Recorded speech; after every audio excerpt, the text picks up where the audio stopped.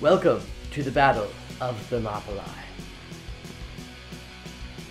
Here we have the pass of Thermopylae.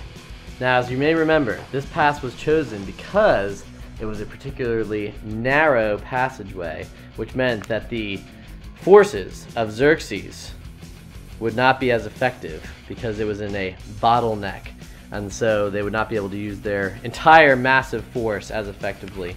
Uh, most historians think about 300,000 troops. Herodotus says 2.5 million. Probably not true. Um, but in any case, the pass was something like this. On the one hand, you had high cliffs, and on the other hand, you had a steep drop off to the sea. Um, and coming along the cliffs were the um, were the Persians, and up ahead in front of them were the Greeks. Uh, now, at this point, the pass uh, got very tight and narrow, and they had built um, a wall across the pass in order to defend themselves. And you may remember as they came closer, uh, Xerxes had sent out spies uh, to go and spy out the land and find out what, what the uh, Greeks were doing. And as the spies got closer, they realized that down here, the Greeks were busy uh, doing athletic exercises and combing their hair uh, because that's what they did before they went into battle. They wanted to die looking good. And so that uh, kind of freaked out the, the Persians a little bit. Xerxes uh, tried to pay no mind to it, but it was a little disconcerting to know that the Persian that the uh, Greeks were ready to sell their lives dearly. So the battle actually came. The Persians poured across, uh, poured across the pass towards the uh, towards the Spartans and the other Greeks, and the Spartans and the other Greeks just wrecked them, uh, totally destroyed them, pushed some of them off the cliff face, uh, drove them back in tatters, uh, and the Persians were just absolutely scattered. It was a hot mess. Well, then the uh, Xerxes decided to call in his special troops, the Immortals. Uh, and the Immortals tried their hand at taking over. And they, too, were beaten just as badly as the others had been. Not even the Immortals could face up to the Spartans. And the thing that really made the Spartans and the other Greeks so uh, so tight, so perfect, uh, was that they were coordinated. They would all uh, go into battle together, and at the same time, they would all pretend to retreat. Ah!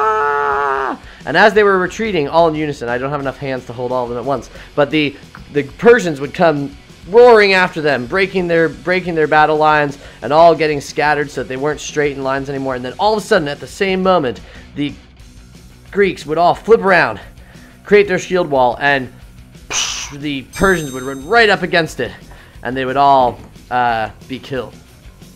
Well, this went on for two days, and during those two days, three times Xerxes was so nervous that he actually jumped up in his seat and cried cried out in horror because of his concern for the poor, uh, the poor individuals below. Well, he didn't really feel bad for them, but he was just worried about his army. But then, but then, a traitor, a traitor from the Greeks came and secretly talked to Xerxes, Ephialtes.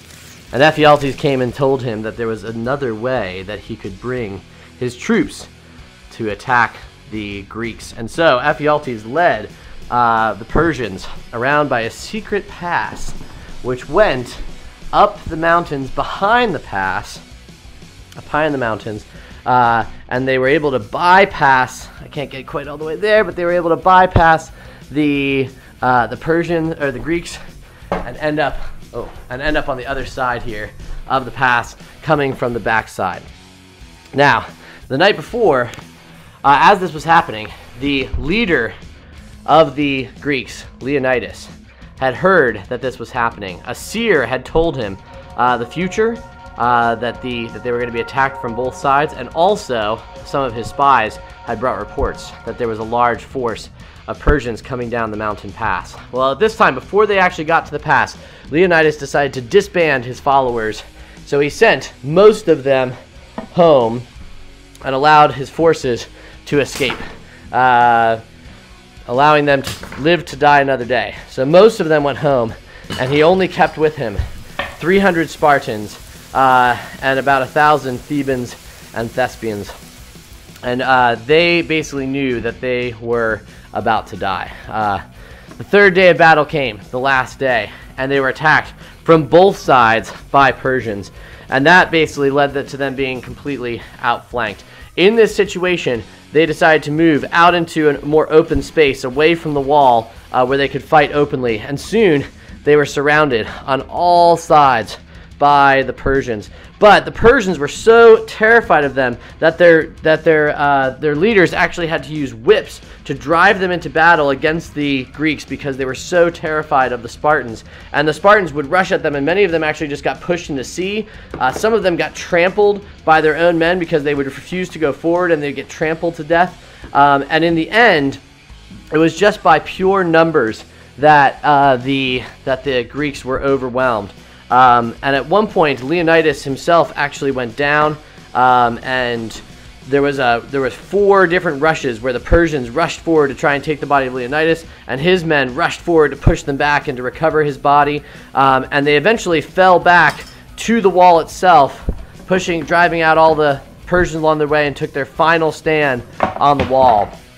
Um, and it was there at the wall that the glorious last stand of the Greeks of the, of the uh, Spartans took place. And by this point, most of them had lost their spears. Their spears were broken, uh, cracked, uh, and so they pulled out their swords and they were fighting with their swords in hand. And then when their swords broke, some of them were pulling out daggers and using daggers. And finally, once their daggers were gone, they were using just their their teeth and their hands, fighting literally tooth and nail. Uh, refusing to go down to the very end. And finally, it was not even uh, the Persians had to defeat them by firing arrows at them so that the prophecy was fulfilled. Uh, when one of the Persians said their, um, their arrows were so thick that they would blot out the sun, and the Spartans laughed and said, Then we will fight in the shade. It was those arrows which finally overwhelmed and killed the last of the Spartans at Thermopylae. Uh, and after the battle, Xerxes uh, was a little bit shamefaced, um, but he was trying to save face, and so he had um, all of the Spartans piled up, and he buried his own men in shallow graves um, to try and hide the number of people who had died in the battle on his side and make it look like there was only a couple of his people who had died uh, compared to the many. And then he killed a bunch of other Greek slaves and threw them on a pile so that it made it look as though there were a lot of, uh, of, of, Greeks uh, who had been killed and very few of his own men who had been killed. And he brought his navy to come and see this, but even the navy realized that this was fake, and they lost heart because of it. And in his great anger against Leonidas, he had his head cut off and placed on a stake in the field of battle so that everybody would remember how much he hated and despised this man.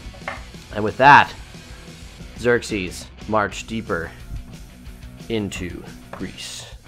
Dun dun dun! To be continued.